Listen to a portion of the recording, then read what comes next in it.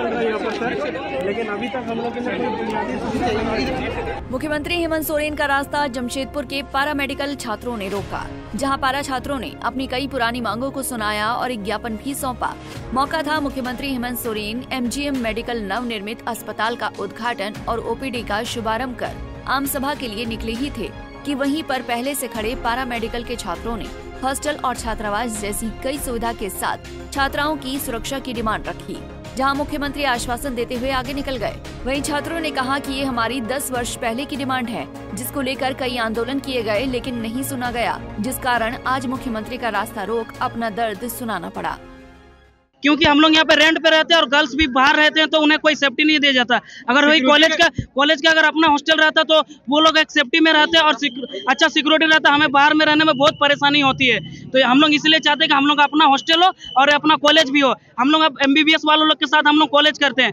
तो यही हम चाहते हैं कि अपना हॉस्टल देना ज़रूरी चाहिए और कॉलेज भी। हम लोग सीएम को रोके थे। सीएम को हम लोग अभी लेटर थमाए सीएम बोले कि हम लोग इसके आगे देखते हैं। तो अभी तक मतलब दस साल से मतलब ये देखते ही रह रहे कोई भी सरकार आ रहा है हमारा कोई जवाब नहीं दे रहे। तो यही हम चाहते हैं कि उम्मीद तो देखिए अब सरकार क्या काम करेगी। अभी टाइम भी नहीं है ज़्यादा इलेक्शन पे। सरकार अभी जल्दी एक्शन लेती तो अच्छी बात है। और नहीं लेती तो हम लोग इसके लिए लड़ाई लड़ते रहेंगे। हम लोग हम लोग का पूरा बेच है। हम लोग लड़ते रहेंगे। जब तक नहीं मिले।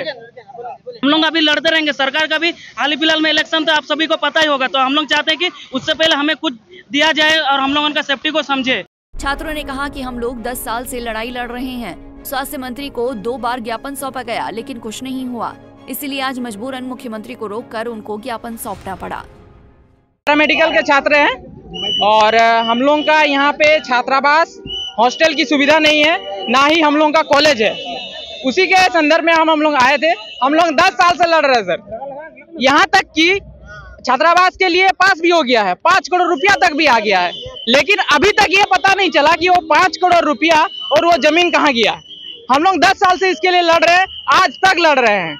हम लोग का बात कोई नहीं सुनता। अभी सर बोले सर को एप्लीकेशन थमाए। इससे दो तीन दिन पहले हम लोग हमारे हेल्थ मिनिस्टर को भी हम लोग एप्लीकेशन थमाए थे। आज भी हम लोग अपने सीएम का एप्लीकेशन थमाए हैं।